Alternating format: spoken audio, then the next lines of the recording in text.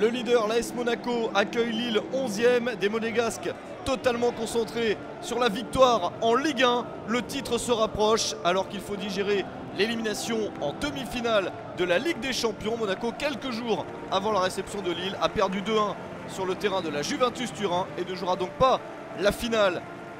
Un succès contre le LOSC peut permettre d'obtenir le trophée dès cette rencontre. 46 points sur 51 à domicile pour l'AS Monaco. On ne voit pas ce qui pourrait empêcher le club de la Principauté de remporter cette rencontre, d'autant plus que Lille est assez irrégulier. 3 victoires et 3 défaites sur les 6 derniers matchs. Les Monégasques qui sont les premiers en action avec la meilleure équipe possible sur le terrain. Le centre et la reprise de la tête de Radamel Falcao. On joue depuis 6 minutes seulement et Monaco mène déjà 1 à 0. Le 20e but de la saison pour le Tigre. Falcao parfaitement placé, la défense de Lille ne l'est pas. Et Monaco qui déjà se dirige vers sa dixième victoire de la saison. Lille essaye bien de réagir. Possibilité de tir. C'est signé Naïm Sliti. Mais l'international tunisien met le ballon directement sur Subasic.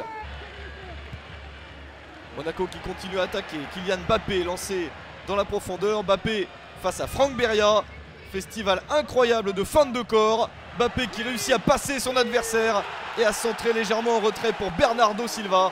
45e minute, 2 à 0 pour Monaco. Le 8 but de la saison pour Bernardo Silva. Monaco gagne toujours ses matchs de Ligue 1 lorsque l'international portugais marque. Un but à mettre largement au crédit de Mbappé. Fin de saison exceptionnelle pour le jeune attaquant monégasque. Et 2-0, c'est le score à la mi-temps. L'équipe de Leonardo Jardine est plutôt dans une situation confortable. En seconde période, les Monégasques insistent avec ce jeu collectif parfait. La remise de Mbappé vers Falcao pour le 3-0, 69e minute.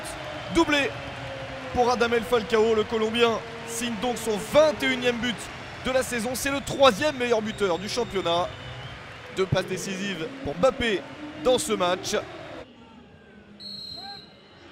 Tentative de réaction pour Lille sur ce coup franc. Et Subasic parvient à dévier la balle. Fares Balouli ne réussit pas à marquer contre son ancien club. Et Monaco a encore quelques situations exploitables avec Thomas Lemar pour un bon centre, tellement bon qu'il fait peur à Junior Alonso. Et le défenseur paraguayen coupe la trajectoire du ballon pour le pousser au fond de ses propres filets. Le but contre son camp de Junior Alonso à la 88e minute. Monaco s'impose donc 4 à 0. Le titre est tout proche, il faudra le valider à l'occasion du match en retard contre Saint-Etienne.